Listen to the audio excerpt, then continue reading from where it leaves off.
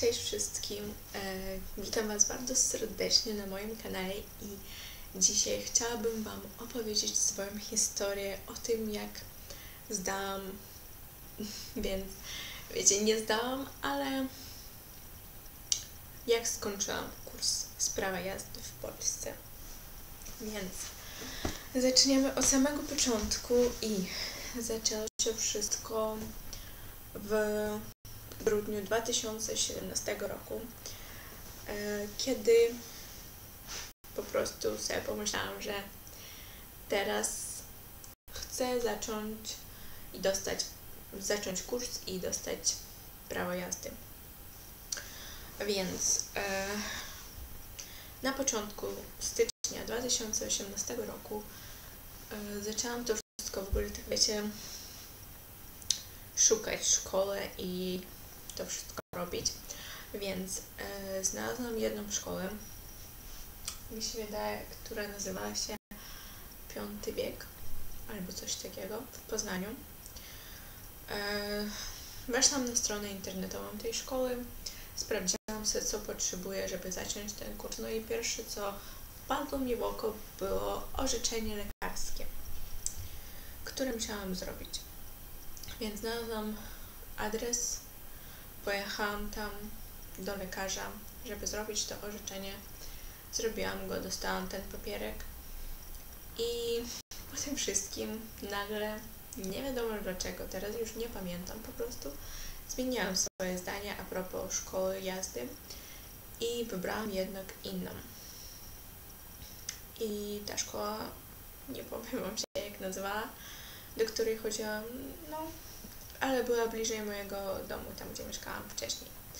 Więc no i poszłam do tej szkoły, tak wiecie, 10-12 stycznia, coś w tym okresie poszłam, żeby zapisać się po prostu na kurs i już wszystko to zacząć. Więc przyszłam do szkoły i dowiedziałam się, że muszę jeszcze zrobić ten numer PKK, profil kierowcy, coś tam, coś tam. Żeby go zrobić, musisz pojechać do urzędu komunikacji albo czegoś takiego. Naprawdę nie pamiętam, jak to się nazywa, ale to nie jest takie ważne. Więc wzięłam niektóre dokumenty, które były potrzebne do tego, żeby zrobić numer PKK i pojechałam do tego urzędu. Przyjechałam, miałam parę problemów, ale to wszystko dlatego, że jestem obcokrajowcem, więc... Ale dobra, okej, okay, udało mi się to wszystko załatwić. E, dostałam ten, ten numer PKK no i wróciłam do tej szkoły jazdy i 22 albo 23 stycznia już zaczęłam e, zajęcia z teorii prawa jazdy. Więc e, trwało to miesiąc, te zajęcia z teorii i mm, trwało, każde zajęcie tak trwało mniej więcej 2,5-3 godziny. E, to było dwa razy w tygodniu, we wtorki i czwartki, tak mi się wydaje, wieczorem. Więc było spoko, bardzo mi się podobało, dlatego że po prostu był bardzo miły i przyjemny pan, który prowadził te zajęcia z teorii i wszystko tłumaczył bardzo, bardzo ładnie. Więc wszystko dla mnie było zrozumiałe i tak sobie powoli, wiecie, zaczęłam wszystko rozumieć, o co w ogóle chodzi z tymi, nie wiem, znakami i tym wszystkim. I sobie wykupiłam jeszcze w internecie dostęp do strony internetowej, gdzie można było zrobić te testy, które później musicie zrobić na egzaminie państwowym. No i więc czasu, czasu czasu sobie robiłam te testy. Czasami było dobrze, czasami było źle, ale tak wiecie, powoli robiłam i uczyłam się tego wszystkiego. No i później skończyłam ten kurs teorii i to było, też nie pamiętam, 22 albo 23 lutego.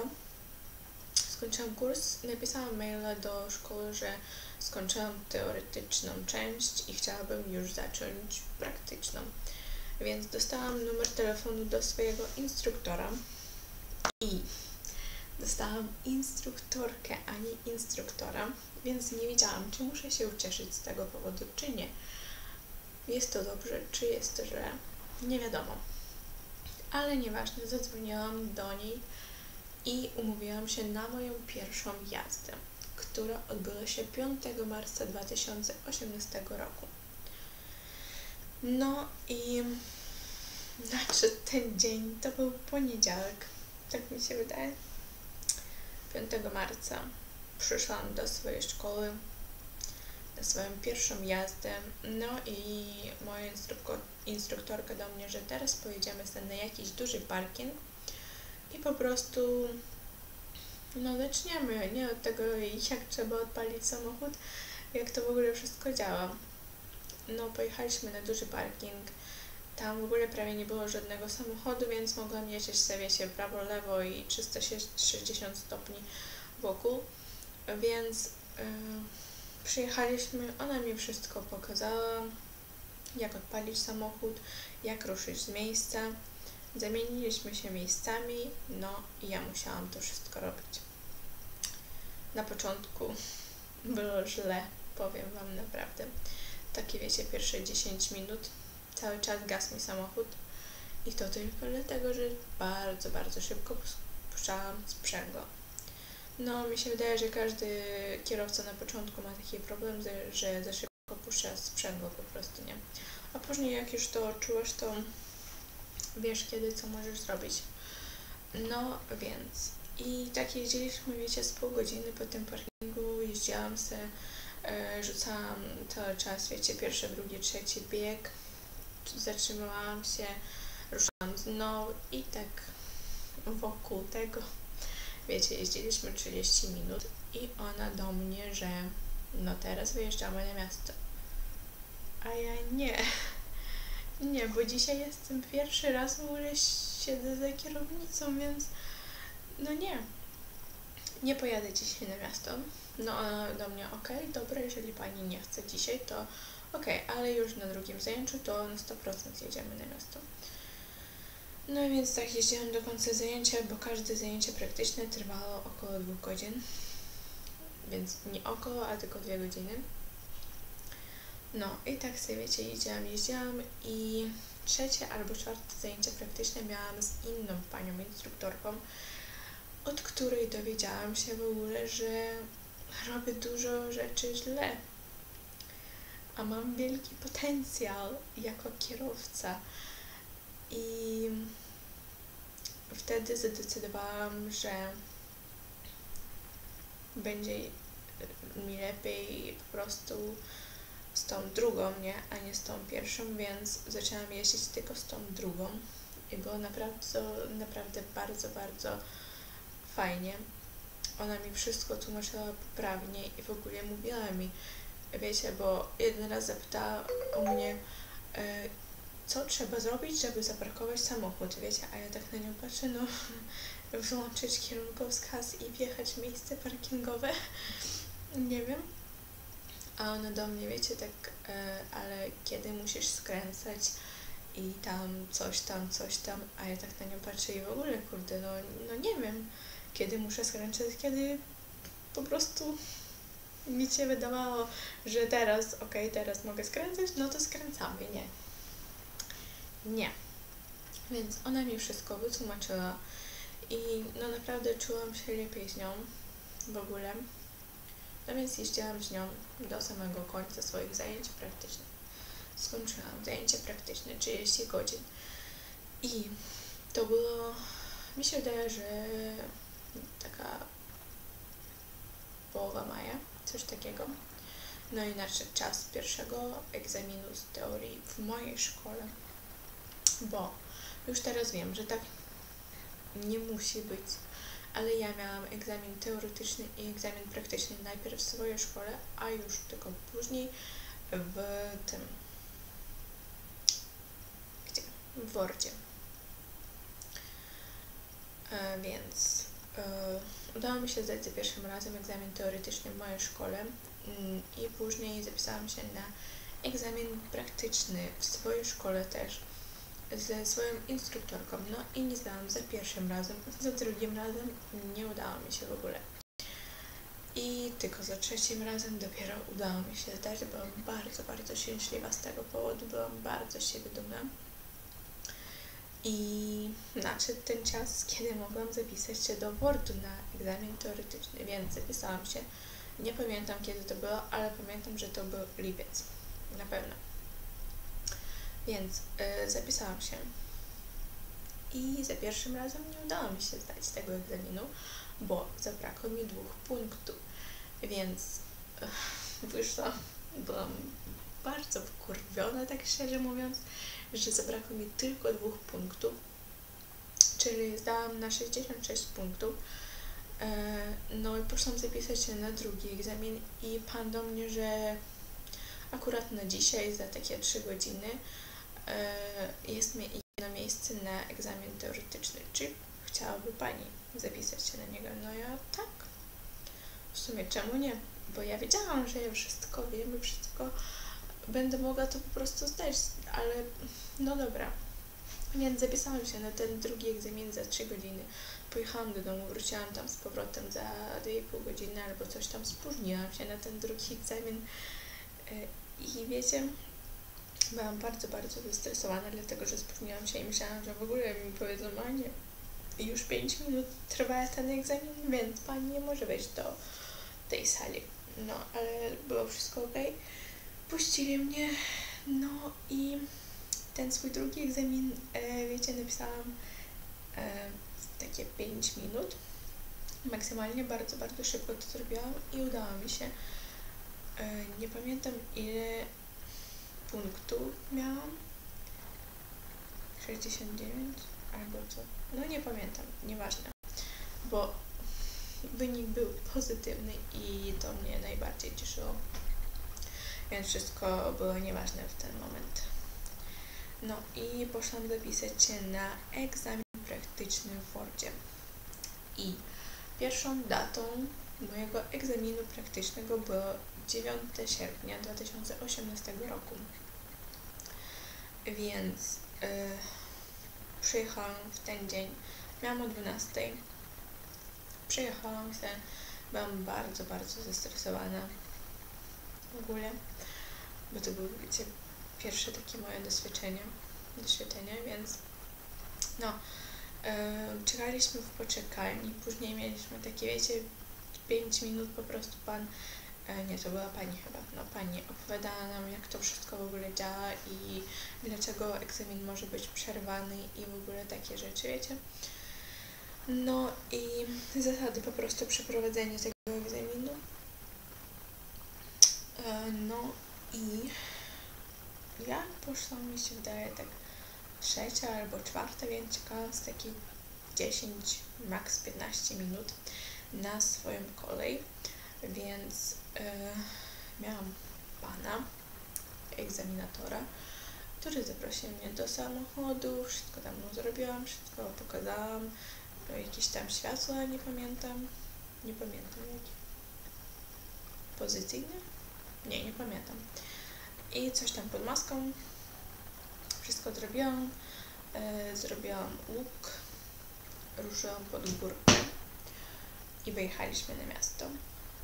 No i mój egzamin trwał 17 minut, dopóki nie przekroczyłam prędkości. Dlatego, że wcześniej jeździłam tą drogą i nigdy tam nie było za E, wiecie, e, maksymalnej prędkości 30 km na godzinę, bo zawsze pamiętam, że tam jeździłam takie 60-70 km na godzinę.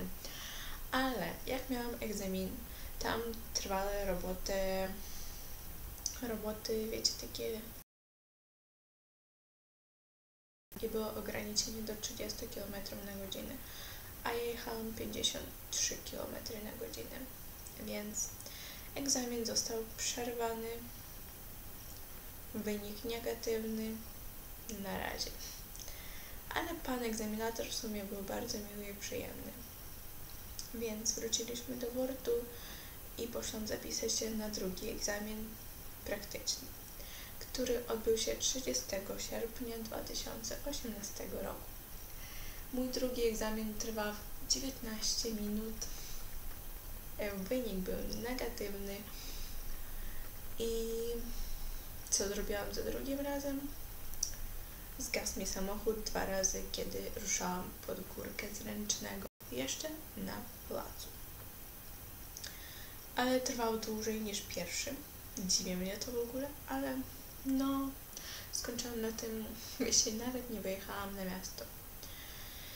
Więc byłam bardzo, bardzo wkurwiona i w ogóle i poszłam zapisać się na trzeci egzamin, e, który odbył się 17 września 2018 roku. I w ogóle wiecie, drugi raz na swoją kolej czekałam 45 minut. To w ogóle i też miałam o 12. Trzeci egzamin miałam o 10 rano 17 września. To był poniedziałek, e, więc przyjechałam, znowu wszystko to samo. No i czekałam w kolejce takie też 15 minut. Też był bardzo miły pan. E, gadaliśmy w ogóle żarty, takie coś tam, coś tam. Było fajnie, miło. E, wszystko pokazała najpierw w świetle i coś tam jeszcze. Sygnał dźwiękowy miałam do sprawdzenia. To w ogóle jest najtrudniejsze nie w samochodzie, więc e, pokazałam to, zrobiłam łuk i pojechaliśmy pod, na tą górkę i pierwszy raz zgasł mi samochód. Więc wiecie, byłam już zestresowana, dlatego że nie chciałam, kurde, nie chciałam skończyć na tym samym miejscu. I w ogóle sobie powiedziałam, że jeżeli za trzecim razem nie zdam tego egzaminu, to robię sobie przerwę i wracam do tego, nie wiem kiedy, ale no już na pewno nie teraz, bo miałam po prostu tego dość, naprawdę. Więc... E, wiecie, siedzę sobie i tak wzięłam sobie jedną taką minutkę, żeby uspokoić się przed tym drugim razem, żeby ruszyć pod górkę zręcznego. Więc tak sobie powtórzyłam wszystko w głowie, co muszę zrobić po kolei, żeby on mi nie zgasł. I mówiłam sobie, puszczaj sprzęgło powoli, proszę Cię. Wiecie, i to nie wiem, co mi pomogło, ale ruszyłam. Nie zgasł, byłam tak z siebie dumna, byłam tak szczęśliwa w ten moment, że no nie da się opisać po prostu tego. Więc i pojechaliśmy na miasto. Byłam bardzo, bardzo szczęśliwa. No jeździliśmy, mm, miałam parę takich zadań, wiecie,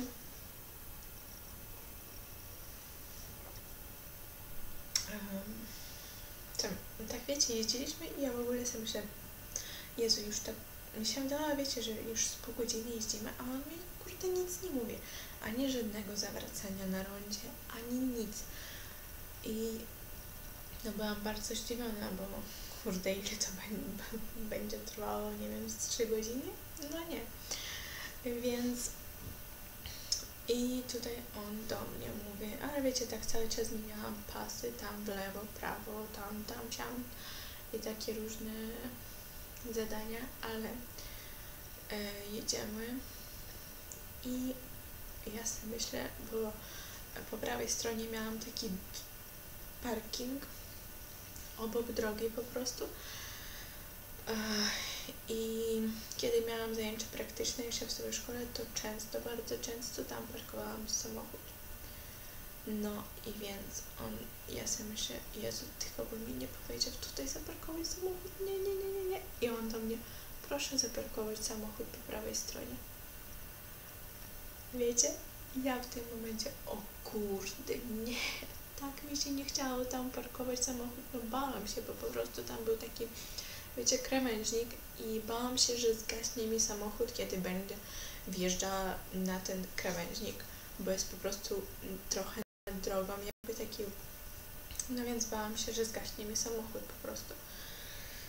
Ale zaparkowałam pierwszy raz i najechałam na krawężnik dalej jeszcze, więc, ale wjechałam dobrze, ale najechałam na ten krawężnik, na którym nie musiałam jechać po prostu. Więc on do mnie, jakby tam ktoś był, proszę pani, to teraz musielibyśmy, wiecie, zadzwonić po karetkę. Ja tak się śmiałam, ale mówię, no dobra, dobrze, że tam nikogo nie było, więc on do mnie, że parkowanie nie było wykonane prawidłowo, więc proszę zaparkować jeszcze raz. Wyjechałam z tego miejsca, e, znalazłam inne miejsce tam dalej trochę i zaparkowałam drugi raz i udało mi się, nie najechałam na krawężnik. Um, kazał mi e, otworzyć drzwi, otworzyłam, więc e, i zapytał się, czy ja będę mogła wysiąść z tego samochodu. Ja powiedziałam, że tak. Z swojej strony on nic nie sprawdzał, chociaż e, wszystko było ok, mógł wysiąść, mógł w ogóle otworzyć drzwi, więc było ok. No i powiedział, że wyjeżdżamy i no jedziemy dalej w tym kierunku, w jakim jechaliśmy. Więc wszystko zrobiłam dobrze, wyjechałam, no i jadę dalej. I już byliśmy przy skrzyżowaniu obok, no więc ostatnie skrzyżowanie przed bordem.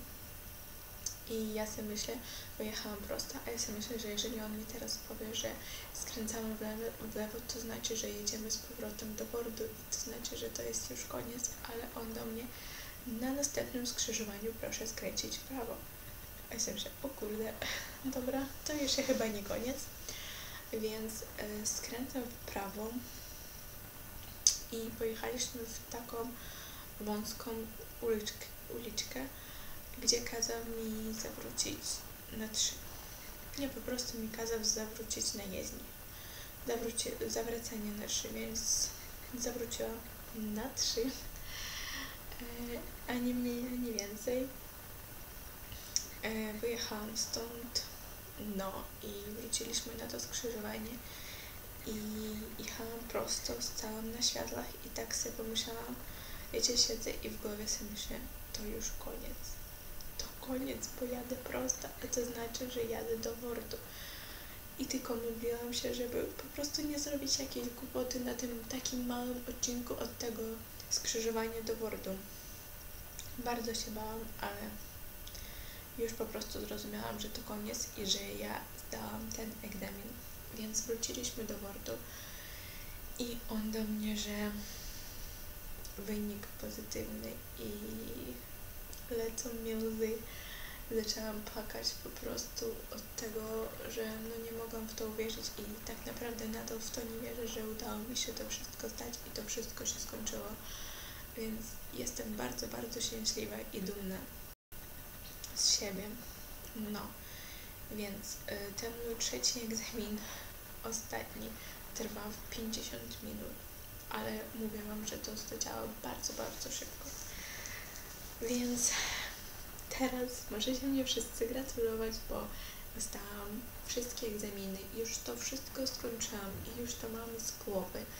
I teraz tylko czekam po prostu na wydanie tego plastiku, wiecie? Tylko czekam na wydanie tego prawa jazdy i będę mogła spokojnie oddychać. Więc wiecie, taka moja historia i chciałabym Wam powiedzieć, po prostu mam przyjacieli, którzy nie mogą nadal zdać tego egzaminu, ale walczą o to.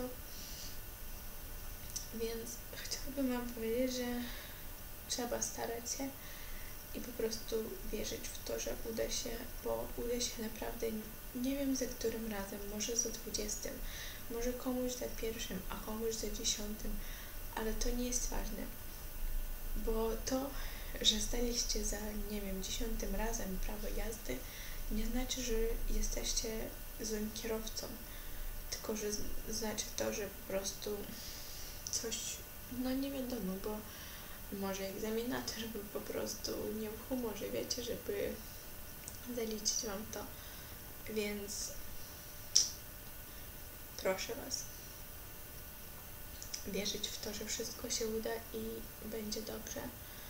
Obiecuję Wam wszystkim, bo ja wierzyłam, marzyłam po prostu o tym, żeby zdać i wierzyłam w to, że wszystko mi się uda. No i udało mi się w końcu za trzecim razem, chociaż bardzo chciałam to zrobić za pierwszym razem, ale nie udało mi się. Więc wiecie, jak to bywa. Także życzę wszystkim powodzenia i nie bać się wszystkiego tego, bo to po prostu życie i to, co nas nie zabije, robi nas silniejszymi, nie? Więc życzę wszystkim powodzenia, miłego dnia i papa, na razie.